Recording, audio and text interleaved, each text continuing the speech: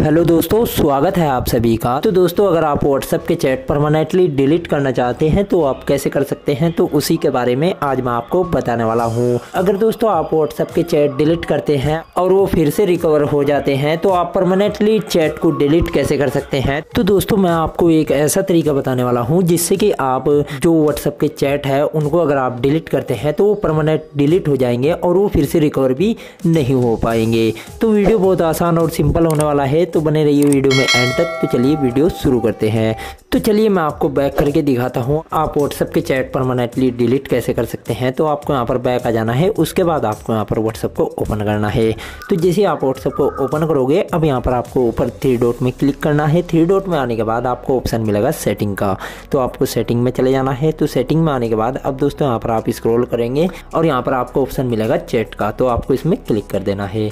तो जैसे ही आप इसमें क्लिक करोगे तो आपको सबसे नीचे की तरफ़ एक ऑप्शन मिलेगा चैट हिस्ट्री। तो आपको इसमें क्लिक कर देना है। और जैसे ही आप इसमें क्लिक करोगे तो यहाँ पर आपको चार ऑप्शन मिलेंगे। Export chat archive old chats, clear old chats और डिलीट ओल्ड चैट्स। तो आपको चार ऑप्शन मिलेंगे। अब आपको व्हाट्सएप के परमानेंटली चैट डिलीट करना है तो उसके लिए डिलीट ऑल चैट वाला ऑप्शन आपको मिलेगा। तो आपको इसमें क्लिक करना है और जैसे ही आप इसमें क्लिक करोगे तो यहाँ पर डिलीट चैट वाला ऑप्शन आपको मिल जाएगा। यहाँ पर क्लिक करके आपके जो व्हाट्सएप के चैट हैं, उनको आप डिलीट कर सकते हैं। लेकिन यहाँ से वो परमानेंटली डिलीट नहीं होंगे, उनको आप दोबारा से चाहे रिकवर कर सकते हैं।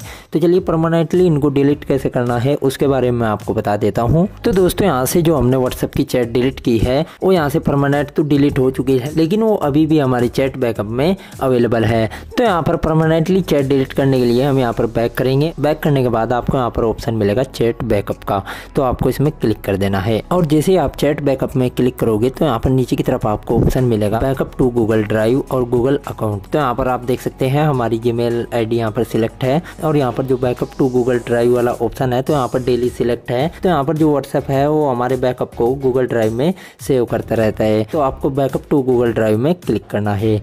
तो जैसे ही आप इसमें क्लिक करोगे, आपको यहाँ पर सिलेक्ट कर देना है नेवर और जैसे ही आप यहाँ पर नेवर सिलेक्ट कर लोगे, उसके बाद आपको यहाँ पर पूरा बैक आ जाना है, आपको होम स्क्रीन में आ जाना है। होम स्क्रीन में आने के बाद आपको यहाँ पर गूगल ड्राइव को ओपन कर लेना है। तो चलिए हम गूगल ड्राइव को ओपन कर लेते हैं। तो जैसे ही आप गूगल ड्राइव को ओपन कर लोगे, उसके बाद आपको ऊपर की साइड में थ्री लाइन में क्लिक करना है। थ्री लाइन में क्लिक करने के बाद और उसके बाद आपको ऑप्शन मिलेगा बैकअप का। तो दोस्तों, आपको बैकअप वाले ऑप्शन में क्लिक करना है। तो जैसे आप इसमें क्लिक करोगे और उसके बाद यहाँ पर आपको मोबाइल नंबर दिखाई देगा और यहाँ पर आपको वो डेट दिखाई देगी जिस डेट में आपने बैकअप लिया है।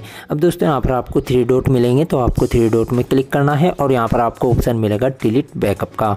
तो आपको डिलीट बैकअप वाले ऑप्शन में क्लिक करना है। तो जैसे आप क्लिक करोगे तो यहाँ पर डिलीट वाला ऑप्शन आ जाएगा, आपको डिलीट कर देना है। तो इस तरीके से आप जो व्हाट्सएप के चैट है उनको परमानेंटली डिलीट कर पाओगे। तो दोस्तों वीडियो पसंद आए तो वीडियो को लाइक और चैनल को सब्सक्राइब ज़रूर करें। तो चलिए दोस्तों मिलते हैं नेक्स्ट वीडियो में। तब तक के लिए आपका बहुत बहुत शुक्रिया।